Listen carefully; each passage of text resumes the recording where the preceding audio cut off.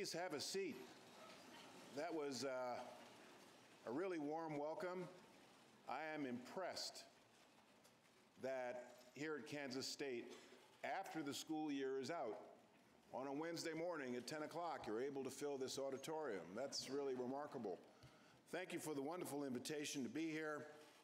Um, I too want to acknowledge uh, the distinguished visitors, uh, the distinguished public officials here, most of all Senator Pat Roberts, who has been a stalwart champion for the state of Kansas and for national security and homeland security. Thank you for your service, sir.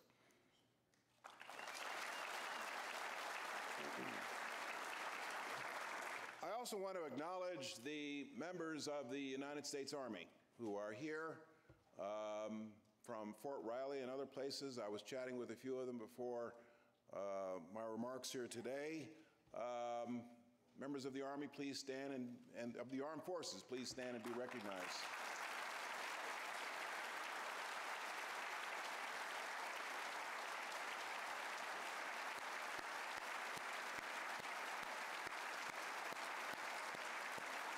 I'm proud of the um, I'm proud of the fact that in the Department of Homeland Security we've got so many uh, veterans of our armed forces, uh, two of whom are with me here today.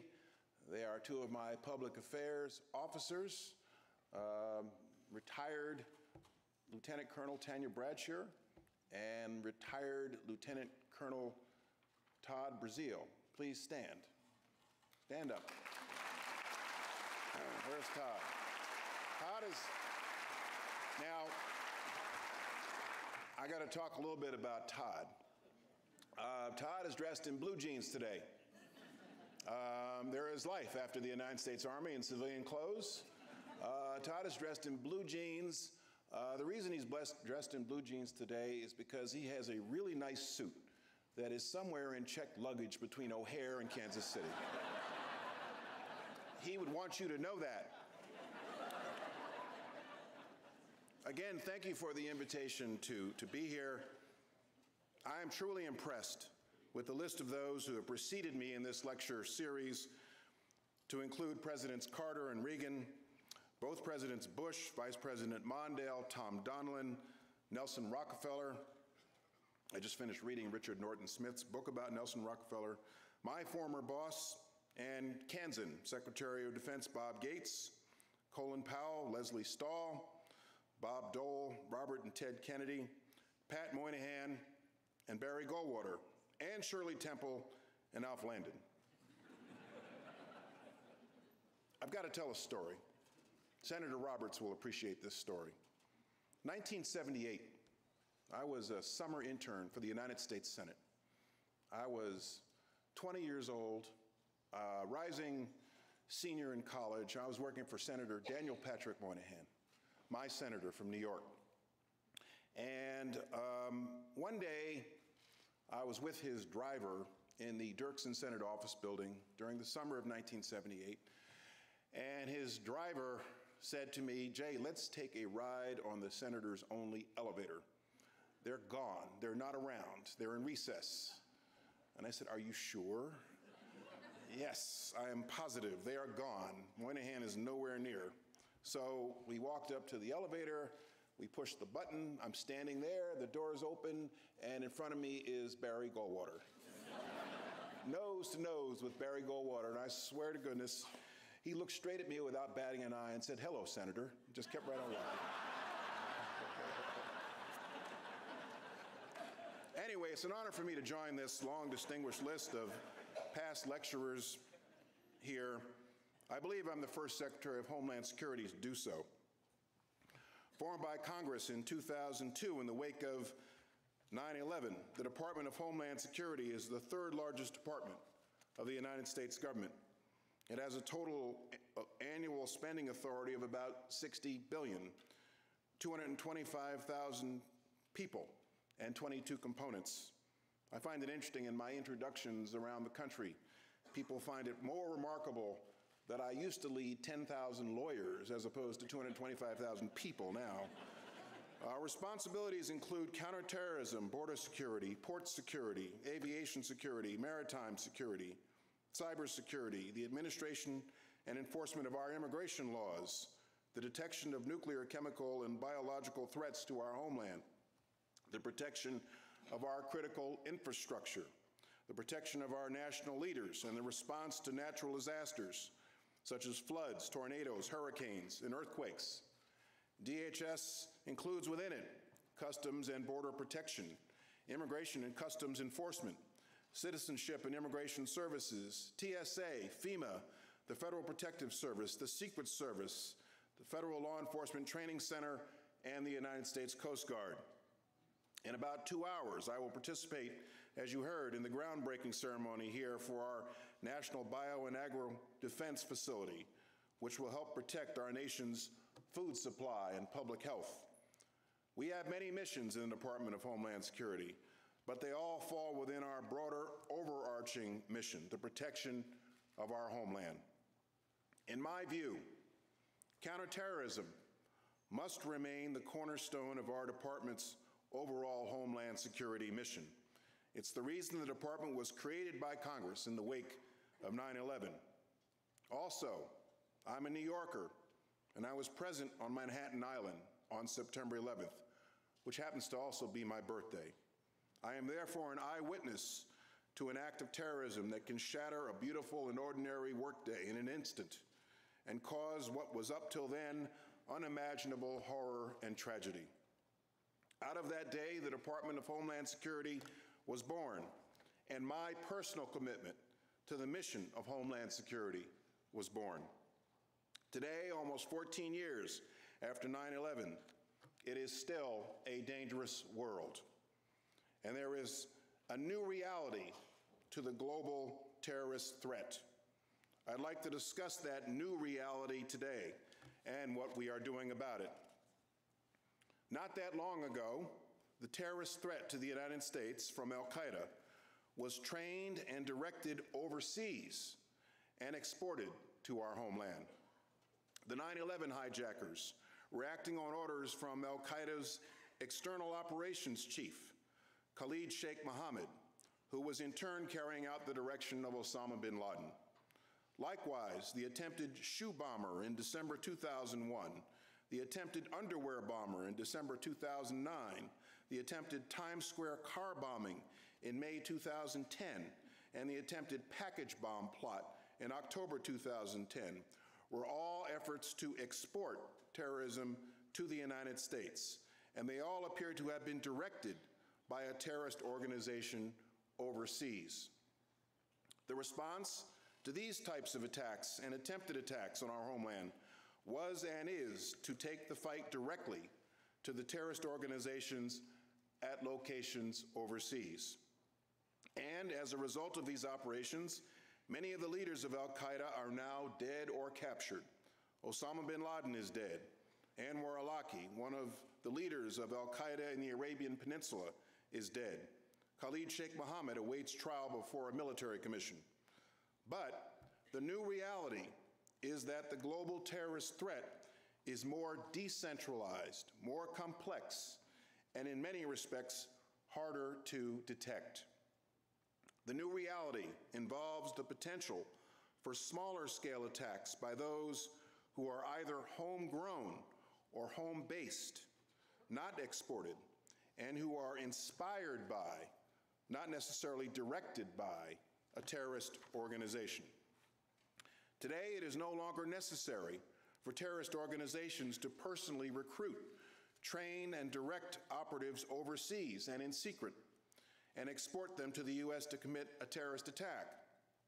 Today, with new and skilled use of the internet, terrorist organizations may publicly recruit and inspire individuals to conduct attacks within their own homelands. Al Qaeda in the Arabian Peninsula no longer builds bombs in secret. It publicizes its instruction manual in its magazine and publicly urges people to use it.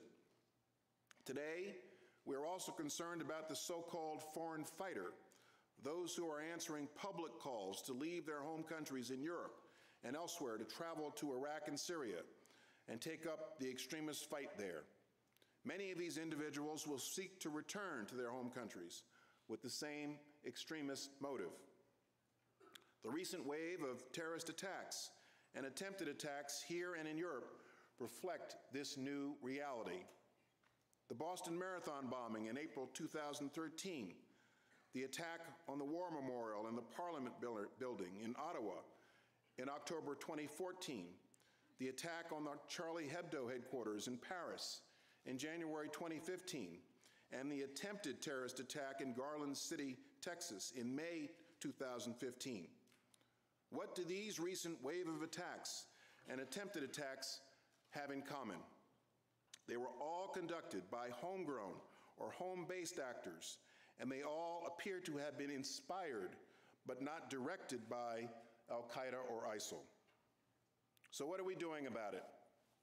First, we continue to take the fight to terrorist organizations overseas. ISIL is the terrorist organization most prominent on the world stage now. Since last September, September, our airstrikes and special operations have in fact led to the death of a number of ISIL's leaders. As President Obama indicated the other day, though there are tactical setbacks from time to time, we know that through sustained continued support of the Iraqi government and its security forces, and with the international coalition, we will degrade and ultimately destroy ISIL. We also continue counterterrorism operation, operations against Al Qaeda targets in Yemen and elsewhere. We will continue to hunt for and take the fight directly to the terrorist organizations who threaten the United States at the places where they hide, where they plan, and where they train. Our intelligence community, particularly since 9 11, will continue to detect terrorist plots overseas at their earliest stages. Much of the terrorist threat continues to evolve around aviation security. We continuously evaluate, modify, and enhance our aviation security measures to stay one step ahead of what we believe the bad guys may be plotting. Last summer, for example, I directed enhanced screening at select overseas airports with direct flights to the United States. Weeks later, we added other airports. The United States, the United Kingdom rather, and other countries followed suit with similar enhancements. In January, TSA also increased random searches of passengers and carry-on luggage at U.S. airports. Last month, I directed enhancements to close certain vulnerabilities in airport security around the nation. We are building more pre-clearance operations at foreign airports with direct flights into the United States. This means deploying our customs officials overseas to screen passengers bound for the U.S. at the front end of a flight before they arrive in the United States. We now have 15 pre-clearance operations and we are building more. The most recent pre-clearance operation was set up early last year in Abu Dhabi. Since that time, in Abu Dhabi alone, we have already screened more than 500,000 passengers and crew bound for the United States and have denied boarding to 785 individuals, including a number who were found in the terrorist screening database.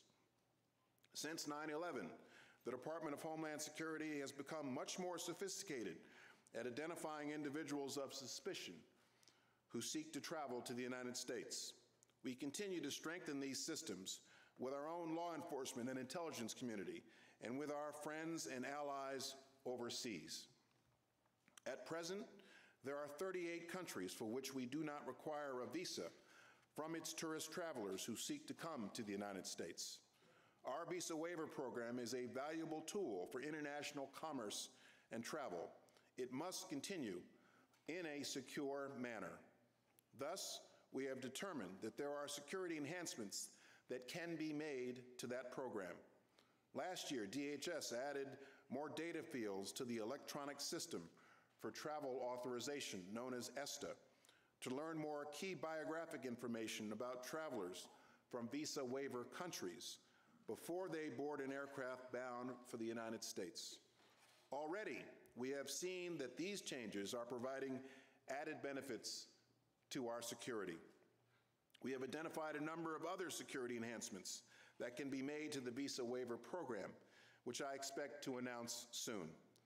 The goal is to know more about those who travel to the United States and to conduct even more effective security screening. We are encouraging countries in the visa waiver program to engage in more effective security and law enforcement cooperation with the United States. DHS is sharing our aviation screening expertise with our allies to help them identify illicit travel while also protecting the privacy and civil liberties of all travelers.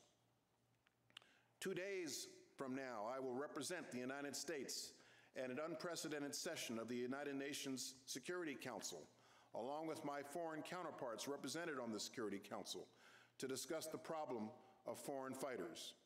We will track progress since the passage of UN Security Council Resolution 2178 on foreign fighters last September, and in general, discuss how we can do a better job individually and collectively to track and prevent foreign fighters. The FBI continues to identify, investigate, interdict, and help the Department of Justice prosecute attempted terrorist plots to the homeland. With the help of DHS, the FBI has also made a number of arrests of those who attempt to become foreign fighters before they can get on an airplane and leave our country. In reaction to terrorist groups' public calls for attacks on government installations in the West, and following the attack last fall in Ottawa, I directed that our Federal Protective Service enhance its security and presence at federal office buildings around the country. This enhanced security remains in place. In reaction to terrorist public calls for attacks on U.S. military installations and personnel, the Department of Defense has enhanced its security at bases in the United States. Given the new reality of the global terrorist threat, which involves the potential for small scale homegrown attacks by those who could strike with little or no notice, we are working in closer collaboration with state and local law enforcement. Given the nature of the evolving threat, the local cop on the beat may actually be the first to detect a terrorist attack on the homeland. So, as often as several times a week, the Department of Homeland Security and the FBI share terrorist threat information and intelligence with joint terrorism task forces, state fusion centers, and local police chiefs and sheriffs. Several weeks ago, FBI Director Comey and I personally participated in a conference call with over 1,000 officers, officials of federal, state, and local law enforcement to personally communicate what we are seeing. With the FBI, DHS routinely prepares and releases written Joint Intelligence Bulletins, or JIBs, that's the acronym, to inform state and local law enforcement about potential threats to the homeland. Prior to the attempted attack at Garland, we issued a jib about the risk of an attack there, given the nature of the exhibit. Fortunately, federal and local law enforcement were there, alert, and prepared. Last September, DHS released a guide to help retail businesses identify suspicious, suspicious purchases of explosive precursors. We're promoting mobile phone applications to support local law enforcement and first responders. Our DHS Office of Infrastructure Protection, together with the FBI and the National Counterterrorism Center, are engaged in a multi city campaign with commercial businesses to review and enhance their security plans. Next, given the evolving nature of the homegrown terrorist threat, I and other government officials have engaged in community outreach to counter violent extremism here at home. In my view, this is indispensable to our homeland security efforts. We must reach communities that themselves have the ability to reach those individuals who may succumb to the slick internet appeal of ISIL and turn to violence. So in 2014 alone, DHS held over 70 meetings, roundtables, and other events in 14 cities. I personally participated in these meet meetings. Since becoming secretary, I have met with community leaders in Chicago, Columbus, Minneapolis, Los Angeles, Boston, New York, and Brooklyn. In a few weeks, I'll travel to Houston for the same purpose. The new reality is that our Homeland Security efforts must involve the public at large, too. In government, we're often afraid to ask the public for help. But we do need your help. At the Super Bowl earlier this year, we refashioned our If You See Something, Say Something campaign with a new look. This must be more than a slogan. We also need the help of Congress. We need a partner in Congress. Three months ago, frankly, it was counterproductive and unnecessary for the Congress to bring the 225,000 person Department of Homeland Security to the brink of government shutdown while failing to enact a full year appropriation for Homeland Security until five months into the fiscal year. It is alarming, and I'm sure Senator Roberts would agree with me, that just four and a half days from now, the legal authorization for activities critical to national security, law enforcement, and public safety will expire, and Congress has failed to enact anything in its place. On May 13th, the House passed the USA Freedom Act by a strong bipartisan margin of 338 to 88. The USA Freedom Act is a good bill. It strikes the right balance between civil liberties and national security. It prohibits the controversial practice of bulk data collection and maintains authorities for more targeted collection activities.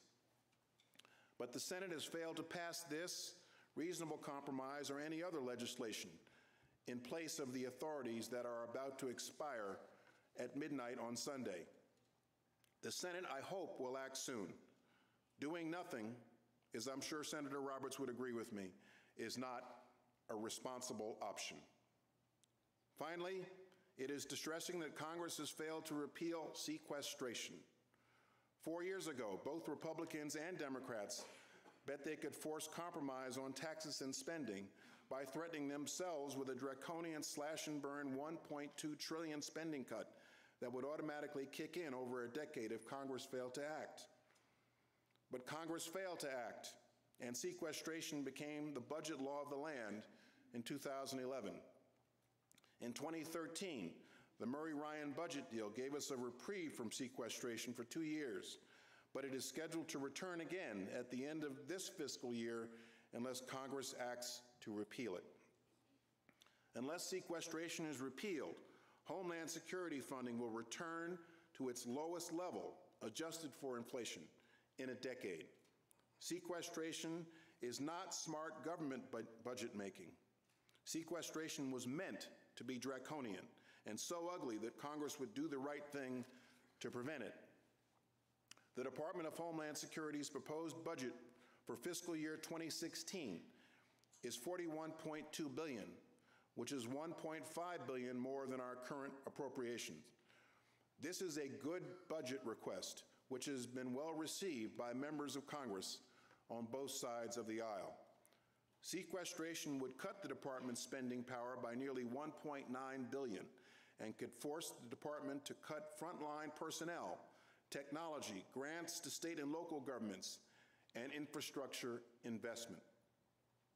Sequestration would mean halting our investment in new border security surveillance and equipment. Sequestration could mean that the Secret Service will lose 236 million or 12% of its budget at a time when it needs to upgrade security at the White House, hire more agents, and protect the 2016 candidates for president. Sequestration could mean that FEMA will see its pre-disaster mitigation grants reduced by 175 million, an 88% decrease, decrease to the program. This is money used to support faster recovery time from disasters and build more and build more levees, strengthen levees, boardwalks, hospitals, and schools. Plain and simple, sequestration weakens our homeland security, and it makes no sense. Like President Obama and many of our Democratic and Republican congressional leaders, I urge Congress to repeal sequestration. One last point which I repeat often. We know that in a free society, homeland security means striking a balance, a balance between basic physical security and our values as a nation of people who enjoy the freedom to travel and associate, cherish privacy, celebrate our diversity, and are not afraid. Terrorism cannot prevail if the people refuse to be terrorized. In the final analysis, these are the things that constitute our greatest homeland security and our greatest strength as a nation. Thank you for listening to me.